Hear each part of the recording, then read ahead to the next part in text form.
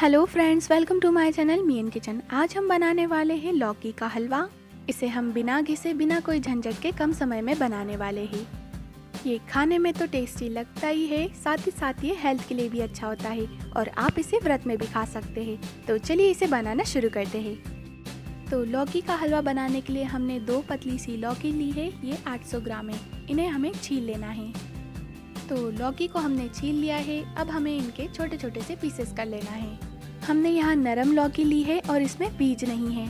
अगर आप मोटी लौकी ले रहे हैं तो उसका बीज का पोषण निकाल दीजिएगा, क्योंकि वो खाने में अच्छा नहीं लगता। हम लौकी का हलवा कुकर में बनाने वाले हैं तो इसके पीसेस डायरेक्ट कुकर में कर लेते हैं।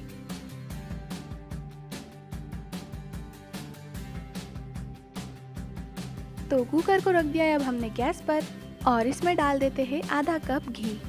और लौकी को हमें मीडियम फ्लेम पर दो से तीन मिनट तक भून लेना है।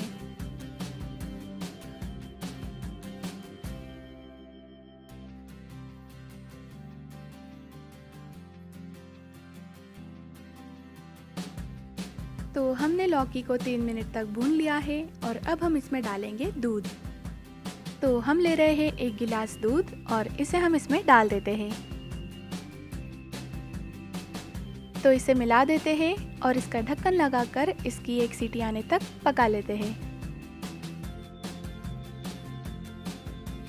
तो कुकर की एक सीटी आ चुकी है। हमें इसकी ज़्यादा सीटी नहीं लेना है और अब हम कर देते हैं गैस को बंद और इसकी गैस निकलने तक इसे ठंडा होने देते हैं।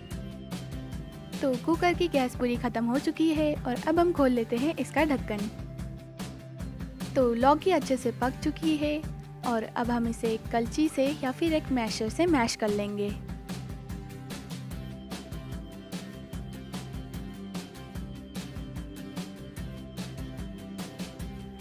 तो हमने लौकी को अच्छे से मैश कर लिया है और अब हम इसे वापस चढ़ा देते हैं गैस पर। और इसमें हम डाल देते हैं इलायची पाउडर और थोड़ा सा हम इसमें ग्रीन फ़ूड कलर डाल रहे हैं। ये बिल्कुल ऑप्शनल है, आप चाहे तो डालें, नहीं तो आप इसे स्किप भी कर सकते हैं। इसका हलवे में टेस्ट से कोई फ़र्क नहीं पड़ता, लेकिन ये दिखने में अच्छा दिखता है।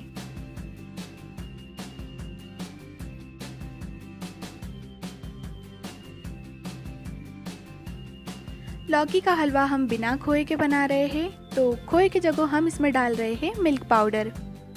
और इसे हम दो बार में डालेंगे, एक बार में नहीं डालेंगे, नहीं तो इसके लम्स बन जाएँगे।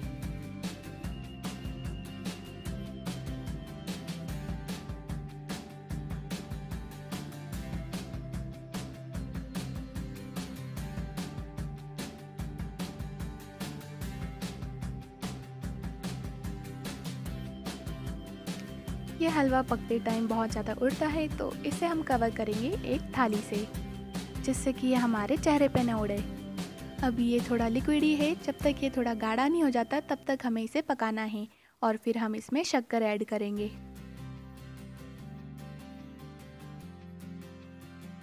तो लौकी का हलवा गाढ़ा हो चुका है और अब हम इसमें डाल देते हैं शक्कर। हलवे में शक्कर आप अपने टेस्ट के अकॉर्डिंग डालें।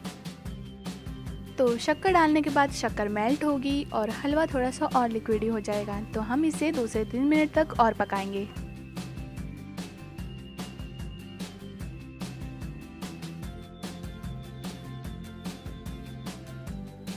तो लौकी का हलवा अच्छे से गाढ़ा हो चुका है और अब हम इसमें डाल देते हैं ड्राई फ्रूट्स तो ड्राई फ्रूट्स में हमने लिया है काजू बादाम और किशमिश इनको हमने पहले ही घी में फ्राई कर लिया था और इन्हें हम इसमें डाल देते हैं। और हलवे में हमें इन्हें कर देना है अच्छे से मिक्स।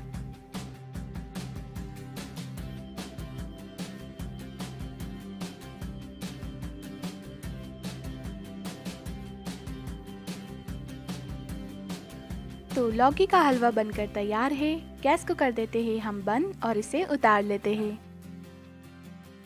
लौकी का हलवा खाने में बहुत ही टेस्टी लगता है और साथ ही साथ ये हेल्दी भी होता है। अगर आपको मेरी रेसिपी अच्छी लगी तो प्लीज़ मेरे वीडियो को लाइक कर दीजिए, मेरे चैनल को सब्सक्राइब कर दीजिए और मुझे कमेंट करके बताइए कि आपको मेरी रेसिपी कैसी लगी।